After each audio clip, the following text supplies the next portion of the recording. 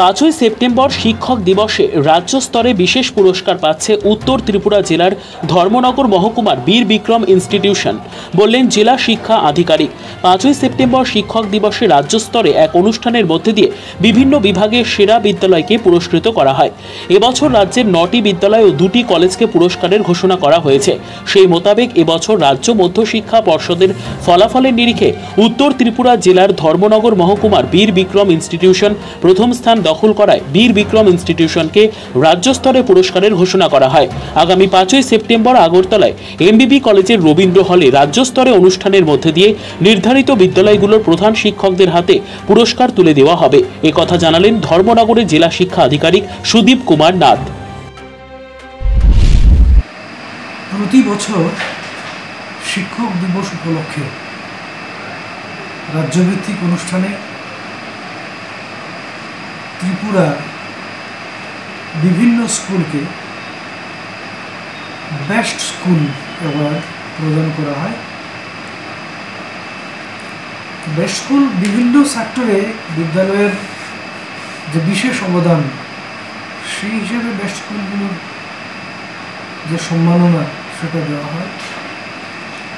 অন্যান্য বছরের মতো এবছরও নটি বেস্ট স্কুল সারা ত্রিপুরার মধ্যে এই অ্যাওয়ার্ড পাবে।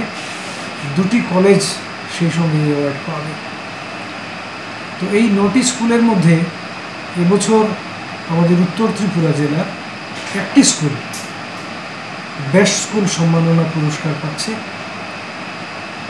সেই বিদ্যালয়টি হচ্ছে আমাদের উত্তর ত্রিপুরার স্বনামধন্য বিদ্যালয় বীর বিক্রম ইনস্টিটিউশন এবছর বীর বিক্রম ইনস্টিটিউশন যে বিষয়টির জন্যে বেস্ট স্কুল অ্যাওয়ার্ড পাবে, সেটা হচ্ছে best school in results in final examination conducted by TBSC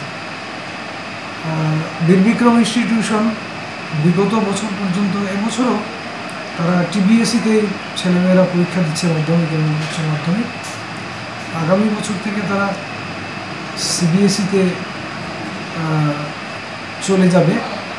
এবছর পর্যন্ত টিবিএসসিতে তো লাস্ট যে টিবিএসসির মাধ্যমে রেজাল্ট এইচএস রেজাল্ট বেরিয়েছে, সেই রেজাল্টের নিরিখে সারা ত্রিপুরার মধ্যে সবচেয়ে ভালো রেজাল্ট হয়েছে বীর বিক্রম ইনস্টিটিউশনের এবং তার জন্যেই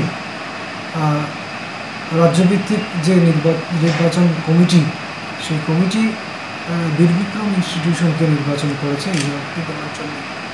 এটা আগামী পাঁচ তারিখে রাজ্যভিত্তিক অনুষ্ঠানটা হচ্ছে এমবিবি কলেজের রবীন্দ্র হলে।